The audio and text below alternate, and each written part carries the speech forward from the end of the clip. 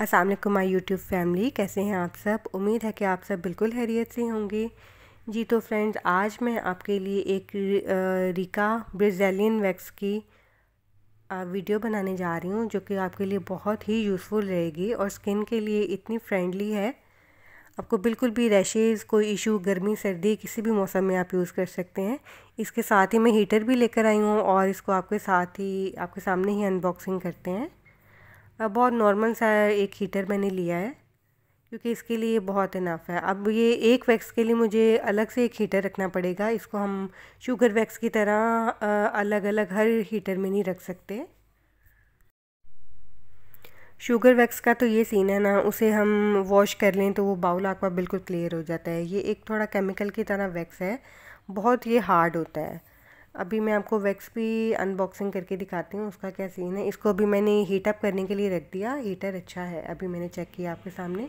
और ये जो वैक्स है, अब इसको ओपन करके मैं आपको दिखाती हूँ। ये नो स्ट्रिप वैक्स है मतलब कि इसे हम स्ट्रिप के साथ यूज़ नहीं करेंगे। इसका जो यूज़ है थोड़ा सा आम वैक्स से बिल्कुल डिफरेंट है। आपको इसके लिए थोड़ा सा एक्सपीरियंस की ज़रूरत होगी। तो आप इसे अपने प्राइवेट एरियाज़ में, जैसे अंडर आर्म्स वगैरह में करने से पहले थोड़ा इसको बाजू वगैरह पे करके थोड़ी इसकी प्रैक्टिस कर लें, जैसे ही आपका हाथ क्लियर हो जाए तो फिर आप इसे अंडर आर्म्स वगैरह में या अपने प्राइवेट एरिया में करने की कोशिश कीजिएगा। ये आप देख रहे हैं, बहुत ज़्यादा हार्ड है। अब चूँकि ये बहुत ज़्यादा हार्ड है और इसको मैं हीटर में ऐड नहीं कर सकती, इसलिए मैंने अपने ये पूरे पैक को गर्म पानी में रखा, ये थोड़ा सा गर्म हुआ और अब ये मेल्ट होने के बाद इसको मैं हीटर में डाल रही हूँ, क्योंकि ऐसे तो मैं डाल ही नहीं सकती थी। ये बिल्कुल एक स्टोन की तरह, बहुत ज़्यादा हार्ड था। तो अब इसको मैं हीटर में डाल रही हूँ, थोड़ा गर्म होने के बाद बिल्कुल इसका क्रीमी सा लिक्विड बन गया है।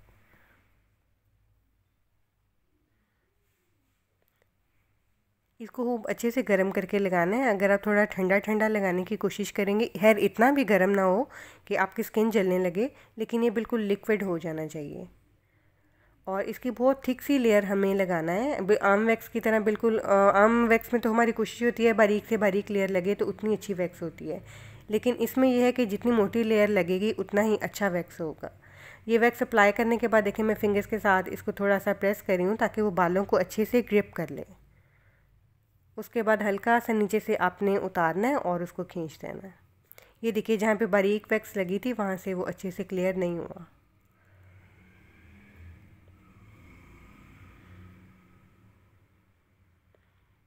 थोड़ा इसको जल्दी अप्लाई करना है, क्योंकि अप्लाई करने के साथ ही ड्राई होता जाएगा।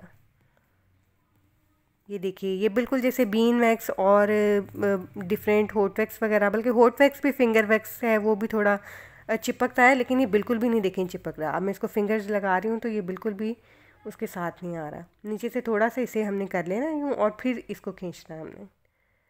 ये देखिए, ये इसने बालों को बिल्कुल क्लियर कर दिया अच्छे से। अच्छा फ्रेंड्स ये आपको वैक्स करने से पहले हमेशा कोई टेलकम वगैरह लगाना चाहिए? ताकि जो अगर आपकी स्किन पे कोई ऑयल है या कोई स्वेट वगैरह है तो वो उसके साथ क्लियर हो जाए। ये देखिए, अब मैं ये स्ट्रिप लगा के आपको चेक करने के लिए दिखा रही हूँ कि ये स्ट्रिप के साथ नहीं उतरेगी पॉसिबल ही नहीं है। और ये चूँकि, ये भी देख लें, ये मैंने बारीक लगाई तो ये नहीं उतर ये देखिएगा, अब ये मेरी स्किन को इस तरह से रैशेज़ हो सकते हैं। अब मैं कोशिश करूँगी कि इसे नेल के साथ उतारने की, लेकिन इसका कोई फ़ायदा नहीं है। आपने इस तरह बिल्कुल भी नहीं करनी। थोड़ी थिक लेयर लगानी है ताकि वो आसानी से उतर सके। इसके साथ अपर लिप्स वगैरह भी बड़े अच्छे हो जाएँगे। फेस पे यानी कि अगर आपके कोई थोड़े बहुत बाल हैं तो वो भी बहुत अच्छे से उतर जाएँगे। इसको खूब अच्छे से जो मैं दबा रही हूँ, उससे यह है कि बाल अच्छे से आपके ग्रिप हो जाते हैं।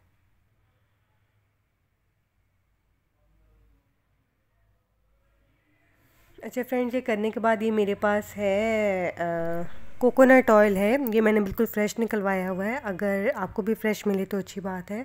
इसको आपने उसके बाद स्किन पे अप्लाई करना है क्योंकि एंटीऑक्सीडेंट है। तो फ्रेंड्स, उम्मीद करती हूँ आपको ये मेरी वीडियो बहुत पसंद आई होगी तो काइंडली आप मेरे चैनल को लाइक करें और सब्सक्राइब करें और दोस्तों के साथ इसको शेयर भी करें।